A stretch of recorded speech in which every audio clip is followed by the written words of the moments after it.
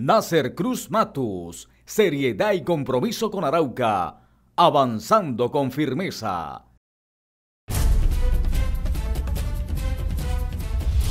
Y 10 senadores de la República han confirmado su asistencia para conocer la problemática del departamento de Arauca. También se espera la confirmación de algunos ministros a la reunión. A pocos días de la reunión de los senadores de la República que sacaron votos en el departamento de Arauca, hasta el momento han confirmado 10 senadores. Avanzamos, gracias a Dios, con muy buenas expectativas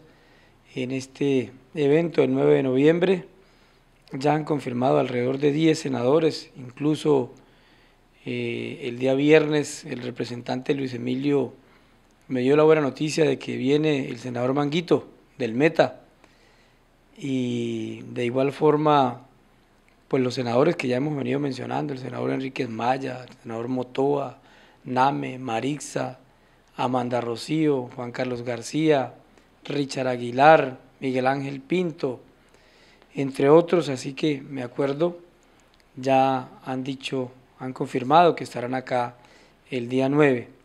Aspiramos que por lo menos podamos tener de 5 a 6 senadores ese día y yo creo que con ello vamos a poder desarrollar un buen evento. Los organizadores de este evento buscan que también haga presencia algunos funcionarios del gobierno nacional. Le cursamos invitación a muchos ministerios, a las EPS, a la superintendencia,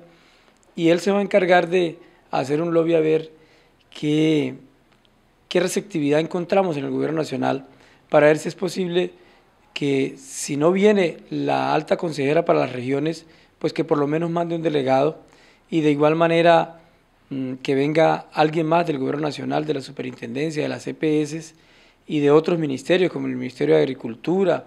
el Ministerio de Industria y Comercio, el Ministerio de Hacienda, etcétera, para que no sea solamente eh, una interlocución con la clase política a nivel nacional, con los senadores, sino que también tengamos eh, el gobierno nacional allí presente para que podamos nosotros formalizar un compromiso al cual se le haga seguimiento por parte de la dirigencia política de Arauca. Las personas que irán a intervenir tendrán que ser técnico más no político para aprovechar el tiempo. Eh, lo que hemos querido es puntualizar eh, los temas con los senadores y por ello allí las intervenciones no van a ser políticas, las intervenciones van a ser técnicas, allí no va a haber discursos políticos, allí lo que va a haber es la intervención de unos técnicos que manejan lo que tiene que ver con el sector productivo, lo que tiene que ver con el sector salud, con el sector de infraestructura y vías, con el sector del comercio, la reactivación económica, de la seguridad, etcétera,